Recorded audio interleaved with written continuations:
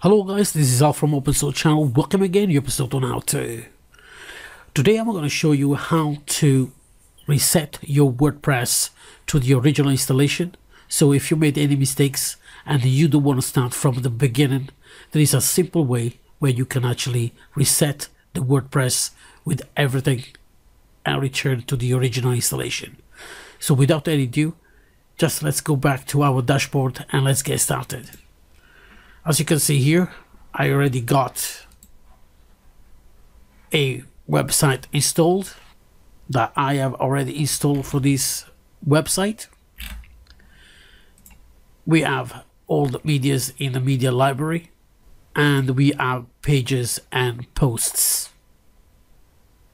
So without going on every single pages and posts I'm going to show you an easy way to do it. So the first thing you want to do is go into plugins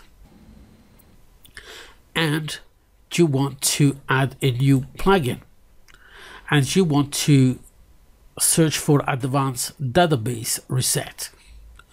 Once the search is completed, this is the actual plugins you want to install. We're going to install it now and we're going to activate it. Your next step is once it's been activated is to go to media. Now, before you, we proceed, I want to make sure you understand once it's been done, it's irreversible. So, you know, it cannot be brought back unless you have a, a copy. So what you can do, you just create a copy. I'll leave a link below on how on this uh, tutorial on how to create your own uh, backups so after that, we go to library. We're going to click on the icon lists is the first icon here. And we're going to delete all the medias. So all the images are going to be deleted. Once that's been done, we're going to plugins. Again, we want to make sure that the actual uh, plugins has been installed properly. We're going to tools, advanced WordPress reset we're going to type reset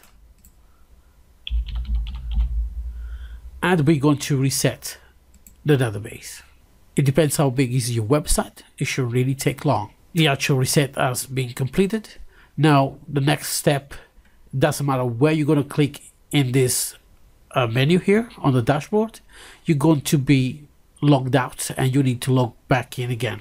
So I'm going to press on dashboard I'm going to put my credential again. And as you can see the plugin has worked. Awesome. The plugin advanced db reset just after you reset the database for a fresh installation.